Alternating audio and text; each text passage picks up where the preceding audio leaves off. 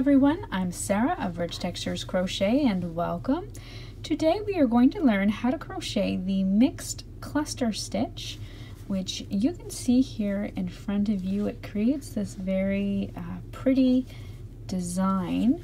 It's a fairly dense pattern and uh, has a little bit of texture here with it as well. It is similar on the front and the back. It creates a solid fabric and it's just a fun stitch to work. So today we're going to learn how to work this mixed cluster stitch. I'm going to be using a little bit of the Caron times Pantone yarn as well as a 5.5 millimeter crochet hook and you can use any yarn or hook that you might have there at home. Thank you so much for joining me and I invite you to subscribe to my channel. It's updated weekly with free crochet patterns and stitch tutorials.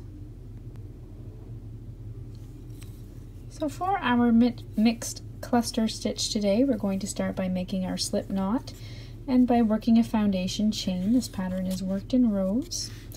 And we're going to need a foundation chain with a multiple of two stitches.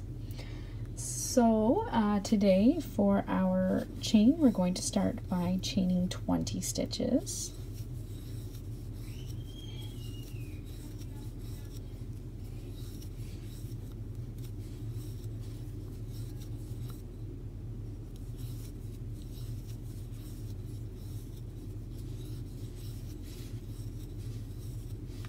Twenty.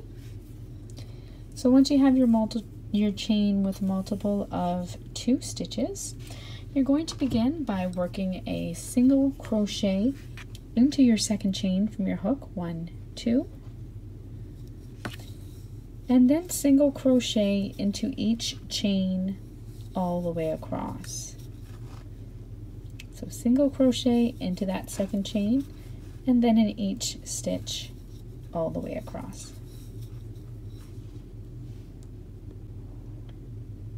At the end of your row one, your single crochet row, you're going to chain one and turn your work. Now for row two, we're going to start working our mixed cluster stitches. First thing we're going to do is into that first stitch, we're going to work one half double crochet stitch, like so. We're now going to work a mixed cluster. Now to work your mixed cluster, you're going to be working over this uh, over three stitches.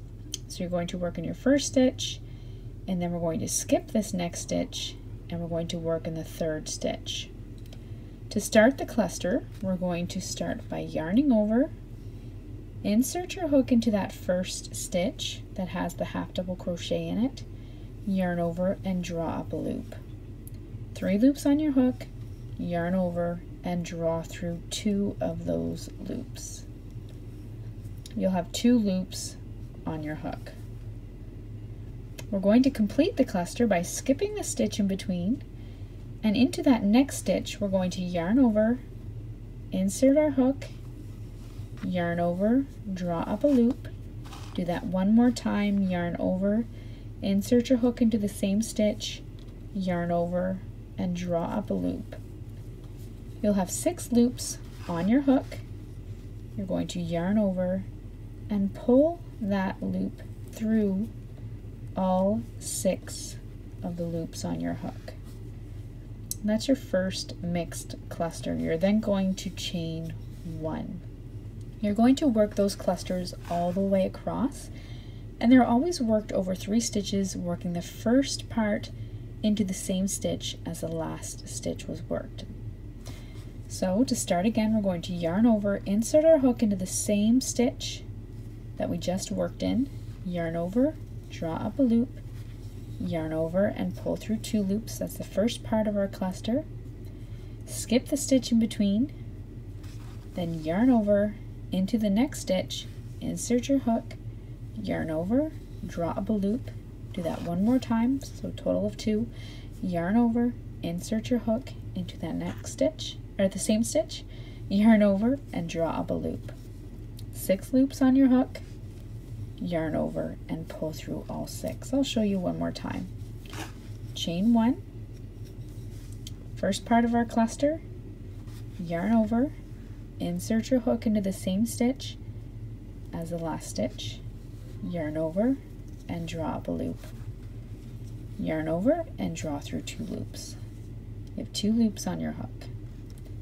Skip the next stitch, into the next one, yarn over, insert your hook into the next stitch, yarn over, draw up a loop. You want to do that twice, so that was the first time. Do it one more time, yarn over, insert your hook into the same stitch, yarn over, draw up a loop, six loops on your hook, yarn over, and pull through all six, and chain one. So you're going to continue that all the way across your work, all the way across that row of single crochet stitches.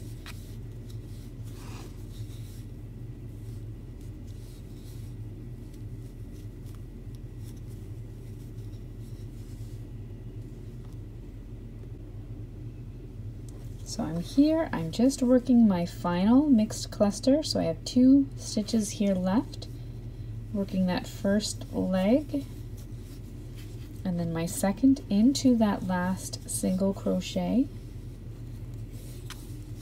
I yarn over, pull through all six loops. And then to end this row, we're going to, you don't chain one, just after that cluster stitch, yarn over and work one final half double crochet stitch into that final stitch and that's just going to end the row for you. Just like so. That brings you to the end of your second row. Your th row three is going to be easy. You're just going to chain one turn your work and simply work one single crochet stitch into each stitch all the way across. So that's into each chain stitch and into each cluster stitch across. So you can see I'm just working right through the center of that chain stitch, not into the space. Continue all the way across, working your final single crochet into that starting half double crochet stitch. I'm working my final single crochet into that ha last half double crochet there of my little swatch. I'm then going to chain one and turn my work.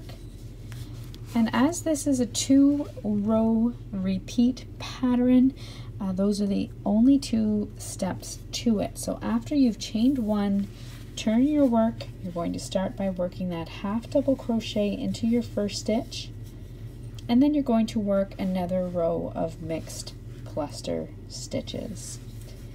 After you work that row of mixed cluster stitches, chain one, turn your work, and work a row of single crochet.